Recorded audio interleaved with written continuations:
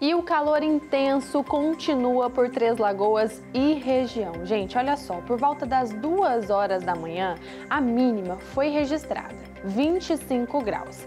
E essa temperatura continuou estável até as 8 horas da manhã. Depois disso, o calor começou, começou, né? E aumentou muito. Neste exato momento, faz 34 graus aqui em Três Lagoas.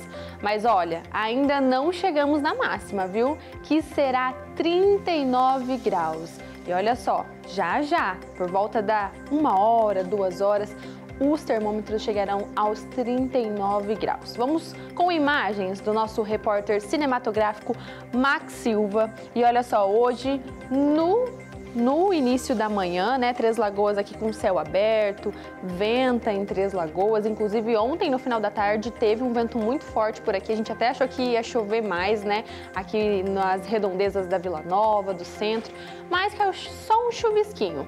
Então, essas imagens da nossa cidade, céu aberto no início da manhã. Agora lá fora, Alfredo Neto já estava ao vivo com a gente aqui lá no nosso cartão postal e já tem nuvens porque hoje tem previsão de pancada de chuva. De manhã, então, sol e nuvens, né? Sol e aumento de nuvens. Automaticamente teremos o quê? Pancadas de chuva agora no período da tarde e também à noite. E amanhã, sexta-feira, os termômetros como ficarão? Vamos ver aqui no nosso painel como que fica amanhã na sexta-feira aqui em Três Lagoas. Mínima de 26 e máxima de 39. Brasilândia tudo igual, mínima de 26, máxima de 39 graus.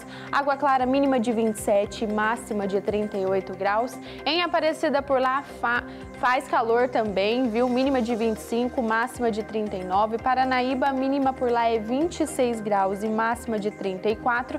Inocência mínima de 24 graus e máxima de 37 graus. Pois é, meus amigos, muito quente aqui na nossa cidade, então cuida da sua saúde, beba bastante água, evite exposição ao sol nesses horários, né? E protetor solar que é de lei, viu, Israel?